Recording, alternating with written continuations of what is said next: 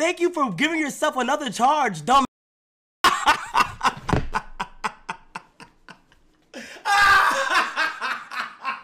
Clowdy World, and we're gonna be talking about that Kai Cenat situation.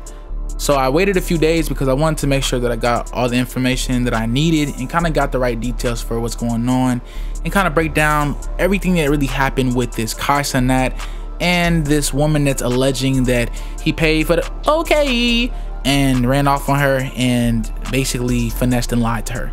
That's her story and we're coming out with the truth. So first thing, that woman is lying.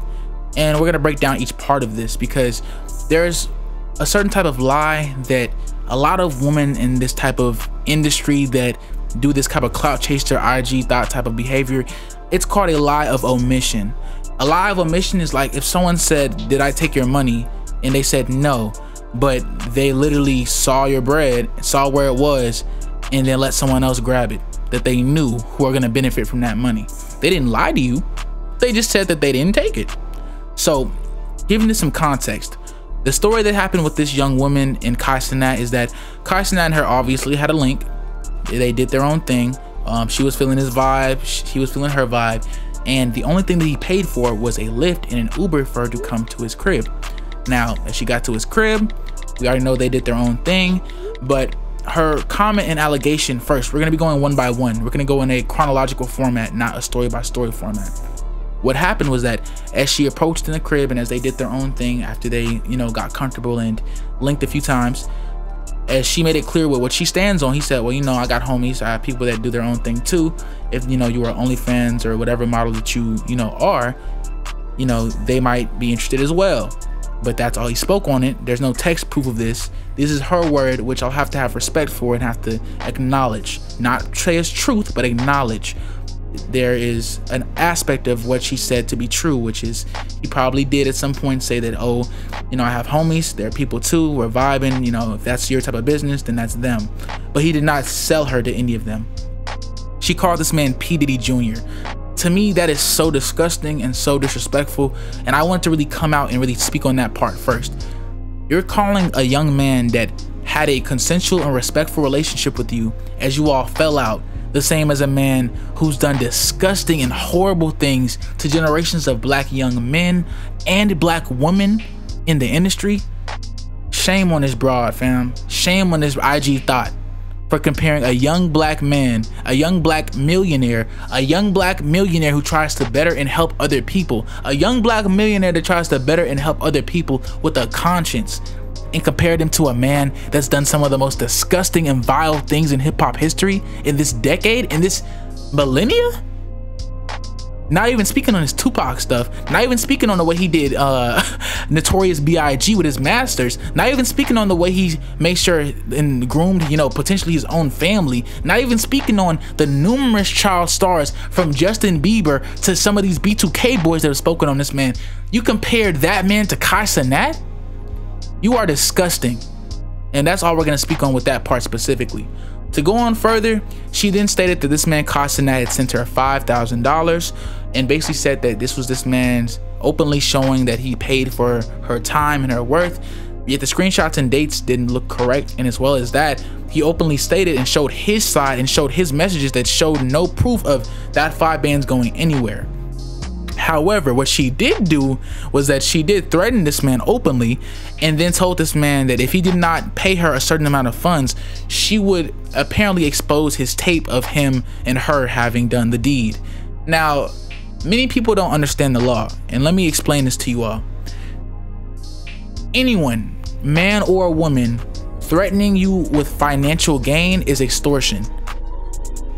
That is a crime. Not only is that a crime, that is a felony.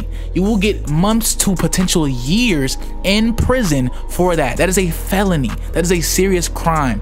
Not only did this woman admit to extortion, she admitted to revenge yarn.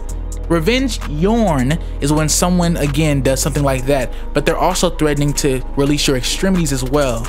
Not only did this woman that threatened Kai Cenat threatened to revenge yarn, but she not only did extortion, but she then openly admitted to it and showed her screenshots of her admitting to doing the extortion and then recorded saying she did it multiple times. God, bro, you cannot pretend to know where these kids went to school. She must have went to school in Arkansas or something, bro. Like, why would you hand someone such an alley oop to sue you? This is insanity. Now, going forward, a lot of people have come out speaking from ranging from Duke Dennis to even others just saying that sometimes you can do all the right things and still pick the wrong partner. And in Kai Cenat's situation, it seems like he did the vetting, he invited her off the Lyft or Uber, and he made sure that she was situated financially for the basics. And then to be threatened that if you do not pay someone five to ten thousand dollars, that they're gonna expose videos of you all having relations, and they're gonna expose your face in photo. If we switched the roles and showed a man screenshotting a woman covered up in the bed, there would be no excuse by anyone that what she's doing is vile and disgusting, man. And I feel like people have this habit of always assuming because it's a young man and a young man of color, especially a young affluent man of color, that they don't have emotions, feelings, or have basic amounts of respect. He has a public image to uphold. Whether you all respect it or disrespect that, we all know that this man Kai image isn't him having toolies out or you know having Zaza everywhere or you know having armed weapons. Like Kai has a certain image that he tries to uphold. Whether it's the best image or squeaky clean that's not the debate. The statement is just that Kai has an image of respect of candor that he wants to uphold and this woman is driving his name in the mud. This woman is trying to deface and defend his character. That is disgusting man that is suable. Not only is it suable, she's openly admitted to doing it. Not only is she openly admitted to doing it, she's recorded herself openly admitting to doing it.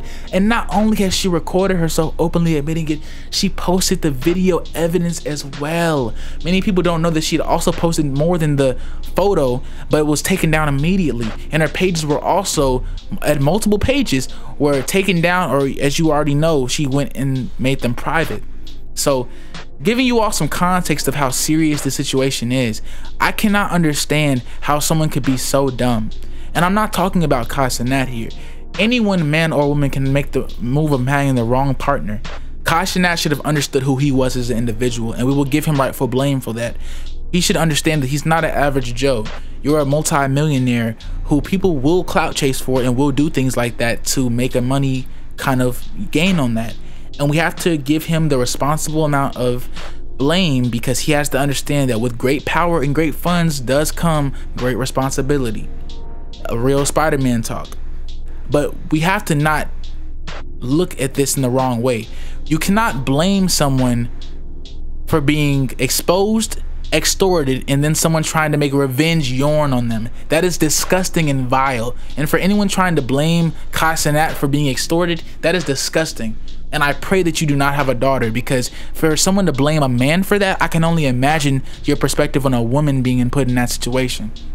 Again, Kai situation is very sad because it shows that even if you have good intentions or try to do people right or have some type of respect or candor for them, you have to be very weary and very careful of who you interact and engage with because even if Kai Cenat sues this woman or does any of those things, it's still a net negative. He's given her over 50,000 followers. He's given her tens of thousands of dollars of money and revenue that have now come in because of all these things. He's given her a platform even if he intended not to. And the sad thing was is that if he didn't respond to these allegations the way he did, it would have been worse more off because with situations like this, it's legally smarter to stay quiet, but it's socially and morally irresponsible to stay quiet. Not because it's a bad thing to do, but because you're allowing that narrative of people that are saying lies to run rampant.